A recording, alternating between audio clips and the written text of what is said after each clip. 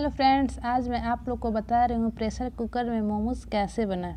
बहुत ही इजी तरीके से बनती है और आसान है, इसकी रेसिपी बहुत ही इजी है। मोमोज की स्टफिंग बहुत तरीके से की जाती है, पनीर से वेजिटेबल से चिकन से। बट मैं आज आप लोग को बता रही हूँ वेजिटेबल से मोमोज की स्टफिंग कैसे करें। इसके लिए बस मैंने लिया है पत्ता गोभी, गाजर, ज़्यादा कुछ नहीं लिया है।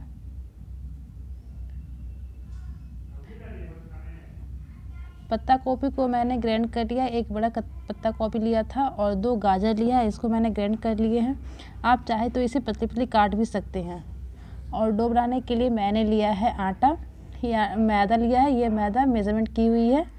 इसको अच्छे से मिलाते हैं, इसमें नमक डालेंगे, एक छोटी चम्मच नमक डालेंगे और नमक को फिर अच्छी, अच्छे तरीके से मिलाएँगे और फिर इसमें पानी डालते जाएँगे। पानी डालते जाएँगे, इसको मिलाते जाएँगे। डो बिल्कुल हार्ड होनी चाहिए, सॉफ्ट नहीं होनी चाहिए। इसको मिलाते जाएँगे, मिलाते जाए पानी डालते जाएँ। इसको अपने अंदाज से मिलाते जाएँ। देखो, मैंने डो बना लिया, ये हार्ड होनी चाहिए, सॉफ्ट नहीं होना चाहिए। हार्ड भी ज़्यादा नहीं, बस मीडियम में होना चाहिए, ज़्यादा हार्ड भी नहीं, ज़्यादा सॉफ्ट भी नहीं। अब स्टफिंग करने के लिए मैंने लिया है एक बड़ा पत्ता गोभी, इसे ग्राइंड कर लिया है और एक गाजर ली है। चलिए इसको फ्राई करते हैं। मैंने एक कढ़ाई चढ़ाई है, इस पर दो छोटी चम्मच मैंने ऑयल डाला। इसको गर्म होने देंगे और फ्लेम बिल्कुल मीडियम रखें। इसमें दो लाल मिर्च डालेंगे फ़ौरन के लिए। इसको अच्छे से लाल होने दें। चलाते रहे, नहीं तो एक साइड से ये जल जाएगी।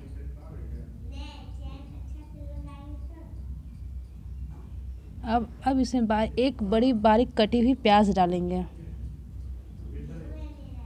प्याज को हल्का चलाते रहे, दो मिनट तक इसे भूंजें, जो कि गोल्डन हो जाए। इसको चलाते रहें। चलाते रहेंगे, नहीं तो एक साइड से गोल्डन हो जाएगी, एक साइड से जल जाएगी। इसको इस तरह हिलाते रहें, चलाते रहें। अब इसमें जो पत्ता गोभी मैंने ग्राइंड की वो डालेंगे। धीरे धीरे करके डालेंगे। पत्ता गोभी मैंने डाल दिया है। अब इसको मिलाएँगे। याद रहे, मोमोज की जब भी मिक्सचर बनाए, इसको ज़्यादा नहीं पकाएँ। हल्की ही पकाए, बस नॉर्मल होने तक, ताकि इसका जो भी कच्चापन है, वो निकल जाए। ज़्यादा पका देंगे तो उसको स्टफिंग करने में प्रॉब्लम होगी, क्योंकि ये पत्ता गोभी तो ऑलरेडी पानी छोड़ती ही है तो ज़्यादा पकाएँगे तो पानी छोड़ेगी। तो स्टफिंग करने में प्रॉब्लम होगी। अब इसमें मैंने गाजर दे दिया है। गाजर मैंने ज़्यादा नहीं, दो ही लिए हैं, क्योंकि ज़्यादा गाजर देने से वो मीठा मीठा टेस्ट आने लगता है। इसलिए मैंने एक बड़ा पत्ता को भी लिया था, उसमें बस दो ही गाजर दिए हैं। गाजर को आप चाहें तो पतली पतली काट भी सकते हैं मैंने तो ग्राइंड कर लिया है। अब दोनों को अच्छी तरह से मिलाएँगे। मिलाते रहें, इसको ज़्यादा नहीं पकाया इसको ढकेंगे भी नहीं नहीं तो ढकेंगे तो ये पानी छोड़ देगी। बस मिलाते जाएँगे इसको। दो से चार मिनट तक लगेगा, इसमें बस नमक डालेंगे। नमक ध्यान रहे, आप मैदा में भी नमक डाले हैं और इसमें मिक्सर में भी नमक डाल रहे हैं। तो नमक बस ध्यान से ही डालें, कम ही डालेंगे। मिला देंगे, अच्छी तरीके से नमक डालने से थोड़ा पानी छोड़ता है, इसको हम हल्के से जला लेंगे मतलब कि पानी को जला लेंगे। अब इसमें हम हल्दी डालेंगे, एक छोटी चम्मच हल्दी डालेंगे, बस नाम मत, ताकि कलर आए सिर्फ़। कलर आने के लिए हल्दी डालेंगे, आप नहीं भी डाल सकते हल्दी। और मैंने एक बड़ा tablespoon soya sauce use किया है। मैंने ये सोया सॉस डार्क वाला यूज़ किया है। अब अच्छी तरह से इसको मिला देंगे। बिल्कुल तैयार हो गए। बस ज़्यादा नहीं पकाएँगे इसको। ये देखो, तैयार हो गई बिल्कुल। अब मैंने यहाँ पे लिया है आटा मैदा। ये देखो मिक्सचर बहुत अच्छे से बनी है। तैयार हो गई है बिल्कुल। ये लिया है मैंने सूखा मैदा डस्टिंग करने के लिए। ये पानी मोमोज़ को सील करने के लिए। अब इसको हम रोल करेंगे। एक बार आटा को फिर से अच्छी तरह से मिला लेते हैं ताकि ये सॉफ्ट हो गई है ना, देख लेते हैं। बिल्कुल सॉफ्ट हो गई है। अब इसकी हम छोटी छोटी लोई बनाएँगे। बिल्कुल जो पानी पूरी का जो लोई होता है उससे थोड़ी सी बड़ी लेंगे। ज़्यादा नहीं, देखो मुझे लग रही है बड़ी है थोड़ी सी तो मैंने थोड़ा सा निकाल दिया है। और थोड़ी बड़ी लग रही है, देखो बिल्कुल छोटी साइज़ में। बस जो पानी पूरी का जो जो लोई बनाते हैं, उसे थोड़ा सा बड़ा होना चाहिए। इसको एक बार डस्ट करेंगे। इसको फिर रोल करेंगे। इसका सेफ़ ज़्यादा बड़ा नहीं देंगे, बस पूरी के साइज़ में देंगे। और डस्टिंग एक ही बार करेंगे, क्योंकि दो बार करने से बहुत ज़्यादा हो जाता है वो जो कि अच्छा नहीं लगता है। और ये बिल्कुल मतलब कि जो सेफ़ है, ये बिल्कुल पतला होना चाहिए, एकदम ट्रांसपेरेंट ताकि मोटा रहने से इसमें ना मोमोज में मैदा मैदा टेस्ट आने लगता है, इसलिए बिल्कुल पतली रखेंगे इसमें। देखो, बना लिया, इसमें हम एक चम्मच डालेंगे, इसका मिक्सचर एक चम्मच डाला है, ज़्यादा देने से टेस्ट ज़्यादा अच्छा आता है। मैंने एक चम्मच ही डाला है, उसका सेफ़ देख के, पूरी के साइज़ देख के। अब इसमें हम इसको इस तरह मोड़ लेते हैं। अब इसमें हम साइड साइड पानी लगाएँगे। पानी ज़्यादा नहीं देंगे, बस हल्की हल्की पानी देंगे, ताकि ये दोनों साइड से सट जाए। और देखो फिर मैंने किस तरह से इसको सील किया है।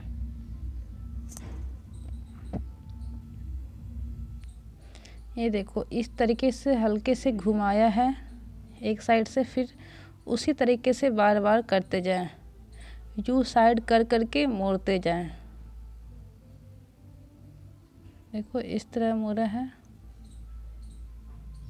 बस ये लास्ट वाली है, इसको भी इस तरह मोड़ देंगे। सारे को मोड़ दिया है, बिल्कुल गोल बनानी है। अब सारे को मिला के एक बार गोल कर देंगे। इस तरह देखो, बिल्कुल टेढ़ा कर दिया है। देखो परफेक्ट बन गई। देखो बन गई है परफेक्ट इसको रख देंगे। एक बार फिर से मैंने आप लोग को बताया है ताकि ये वीडियो बैक करके ना देखना पड़े, इसलिए मैंने ये प्रोसेस को दोबारा रिपीट किया है। इसमें वैसे ही एक चम्मच लेंगे मिक्सचर इसका।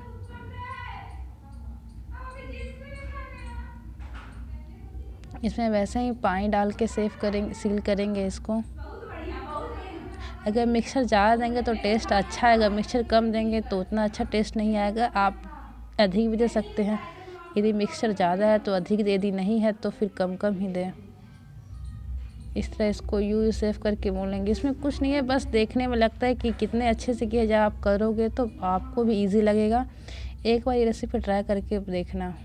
बहुत अच्छा लगे। इस तरह इसको घुमाएँगे और यदि सामने में आपको मैदा ज़्यादा लगे तो उसको निकाल दें। नहीं तो फिर मैदा मैदा टेस्ट आएगा।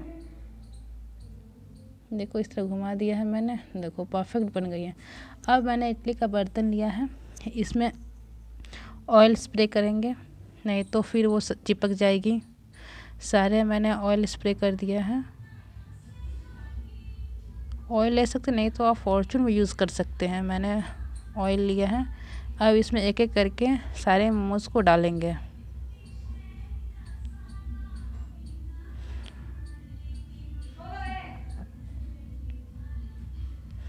साए लगा दिए, इसको इस तरीके से इसको एडजस्ट करेंगे। यदि आपके पास इडली का बर्तन नहीं है तो आप नॉर्मल प्लेट में भी डा बना सकते हैं इसको। प्लेट प्लेट में फॉर्चून लगा देंगे, इसको इस तरह से अलग अलग रखेंगे। सटा के बिल्कुल नहीं रखना है। यदि सटा के रखेंगे तो ये फिर चिपक जाएगी बाद में।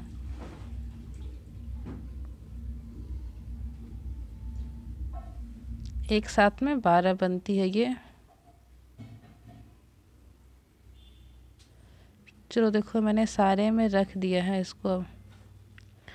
अब इसको स्टीम करने के लिए रखेंगे। स्टीम करने के लिए मैंने लिया है प्रेशर कुकर प्रेशर कुकर में मैंने आधा ग्लास पानी डाल दिया है।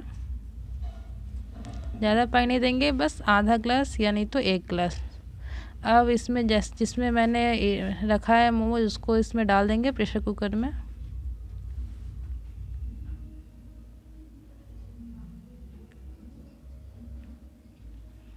देखो, प्रेशर कुकर में डाल दिया है। अब इसका, इसको बंद कर देते हैं। बंद कर दिया है और इसको गैस पे चढ़ाते हैं।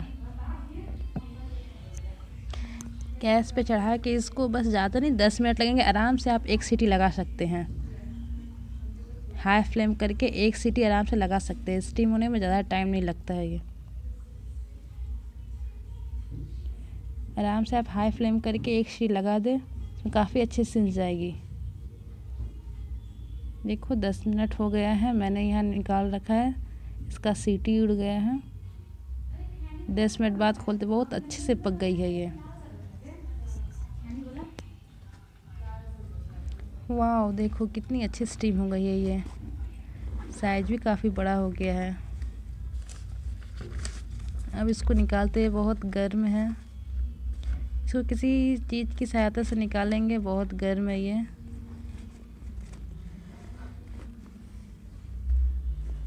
देखिए, बिल्कुल मोमोज तैयार हो गई। देखो, कितनी अच्छी पकी है, ये स्टीम हो गई है। बहुत अच्छी लग रही है देखने में ये। बहुत इजी रेसिपी आप भी ट्राई करना एक बार। चलिए, इसको अब हम सर्व करते हैं।